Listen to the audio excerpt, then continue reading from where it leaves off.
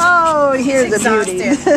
this is Maria, and Maria's ID number at the Baldwin Park Shelter is A4805994. She's a female tan and white pit bull mix, uh, very young, about a year old. Came to the shelter as a stray on March 6th from La Puente, and she weighs about 46 pounds, which isn't too big for one of these guys. But oh, she's sweet.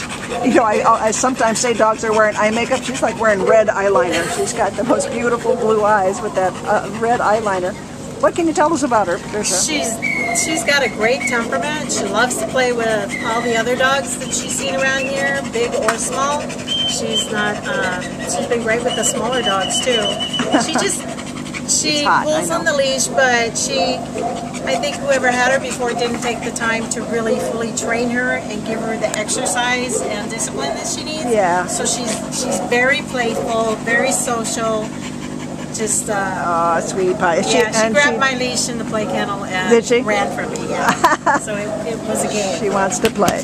Well, she scored a B on her temperament test, so she's doing real well. She just could use, you know, some more socialization and a little bit more puppy training because she's still a puppy, and she's a beauty. Come on down, and if this is your kind of dog, meet Maria. She's available right now, and you can take her home and have her join your pack. So long, gorgeous.